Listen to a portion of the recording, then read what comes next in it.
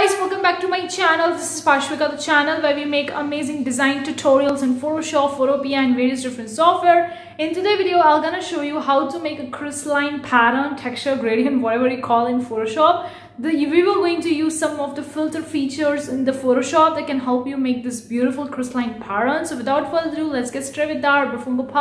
Consider clicking the like button guys. I do appreciate that. If you want more such video consider subscribing. Hit the bell icon. Whenever i'm gonna upload new videos you're gonna get notified about it also, if you're looking for some graphics freebies, then I have on my website. This is www.globokreaty.com. The link is in description box below. If you are a creative person looking forward to make money online, then I have my other YouTube channel where I talk a lot about making money online as a creative person. The link is in description box below. Without further ado, let's get straight into the tutorial. I'm gonna be diving into my laptop and I'm gonna show you one. So let's do that. Okay guys, currently we are in the Photoshop, you can see very well. Now we will going to quickly go and pick up the white canvas. So I'm going to go over to the file option, the click over to the new option and then I'm going to be picking up the canvas. I'm going to take the 3000 by 3000 pixels of the canvas. You can very well pick up your own specific size of this file that you want. Resolution 72 RGB mode color then background content i'm gonna keep it as a white. You can probably select any foreground color if you really want to. And that's it. Now we are going to click over to the ok button and we will going to proceed further with having a white canvas. So here we are having a white canvas. Now we will going to select the multiple different options. I'm gonna go over to the brush tool and we will going to select a brush tool first of all. So here it is. Uh, above that the custom brush tool. I'm going to be selecting this custom brush tool. You can select the brush tool now I'm going to be selecting the specific brushes. You can pick up whatever brush that you want to choose that the uh, Photoshop already offers you. I'm going to pick up a random brush.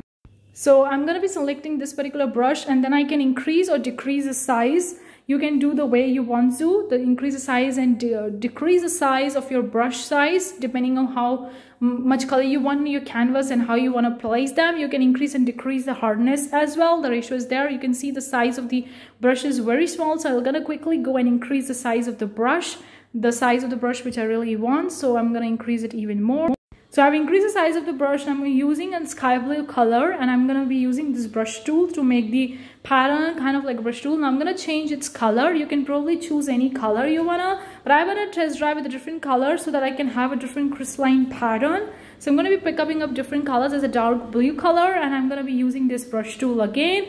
Now I'm going to be going back and I'm going to be going over to the filter option. Sorry, I'm going to go over to the uh, filter option and I'm going to go over to the option over here which is the uh, different options you're getting in the filter. So we have to go over to the option, the pixelate, and I'm going to go over to the crystallize and then you're getting this particular size of the small window which you can very well select the level how bigger you want the cell size or how smaller you want the cell size. So depending on the cell size of the crystals that way your things will going to vary. So probably you can select the way you want to. So i'm gonna choose a very specific size which i want to.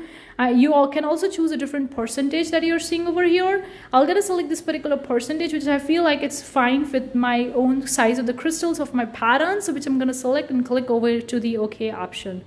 And we will going to see that our crystalline structure is formed. So you can see the crystal pattern has been formed. But again, I feel like I want to add more colors to my crystal. And so I'm going to be choosing a different color over here. Uh, currently, I'm going to select different options. So I have chosen the green color and I'm going to keep more brush tool. And then I'm going to be using the filter tool again to create the crystalline pattern. So we have the enough of the green color so I'm choosing the different colors of the foreground color of my brushes so that I can have a different variety of my pattern. The, you can choose whatever kind of a filter you want. Sorry, whatever type of pattern you want, you can choose a color according to it. Now again, I'm going to go over to the pixelate option, going to go over to the crystal. Then I'm going to select the size of my cell. Again, I'm going to select the size of the cells uh, percentage. You can select the percentage or you can increase or decrease. I think I'm happy the way it's looking or I can probably decrease it to 25%. You can see the percentage and you can just try with that. Then I'm going to click OK. I'm going to see how it's looking all together. You can just see that and then click OK.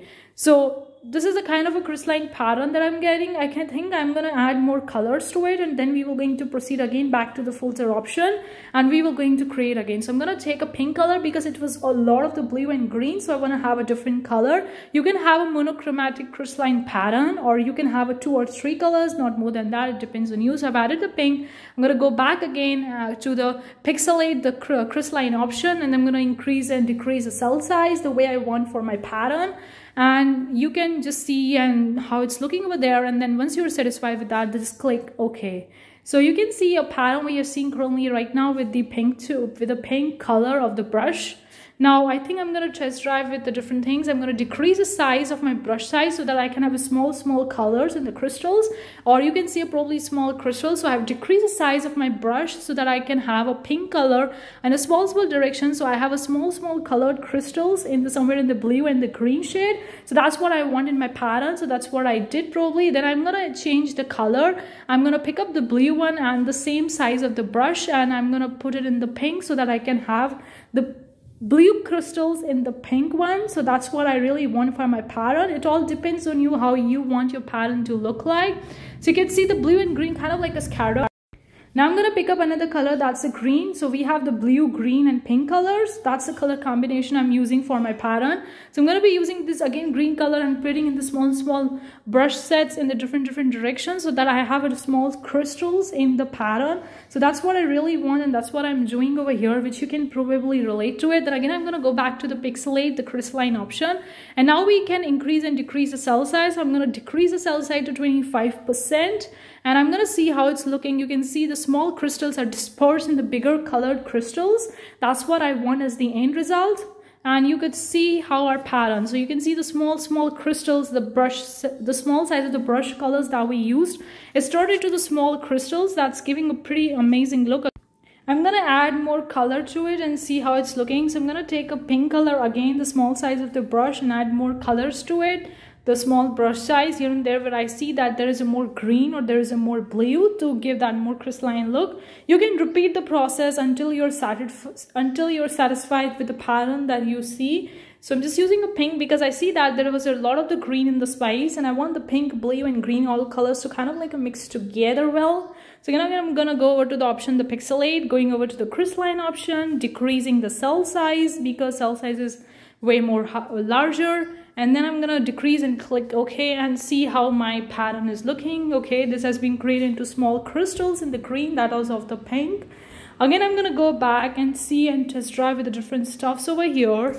So I'm gonna go back, pixelate, crystalline, and I'm gonna decrease the cell size and see I'm gonna have increased a little bit and then I'm gonna decrease increase a little bit and see how it's probably looking and okay so if I'm increasing the cell size it's looking somewhere like that but I think Again, I'm to go back again to the pixelate, the crystalline option and do a little bit more testing until I satisfied with the crystalline pattern or textures that I'm getting. Once I'm done with that, I'm to click over to the file, the save option and we can quickly save the file.